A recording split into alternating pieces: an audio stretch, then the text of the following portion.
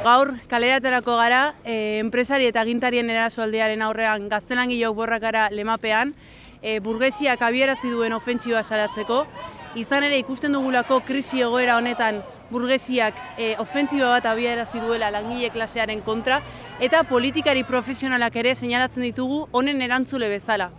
Ikusten dugu hauek e, enpresari handien eta bankarien intereseten interesen mesedetara odela, eta bitartean langile klaseari bakarrik ogi apur batzuk ematen dizkiola, bere aserre apaltzeko eta politikoki blokeatzeko.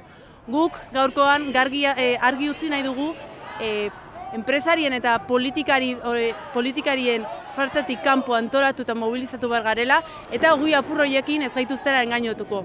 Gainera, estatu sozialistaren beharrezkotasuna azpimarratu nahi dugu, ofentzioa horri aurre egiteko bide bezala eta eskubi eta bizi badintza guztiak bermatzeko. Horretaz gain, azpimarratu nahi dugu manifestazio hauek ez zirela posible izango eundaka militanteen eh, lan konprometituri gabe.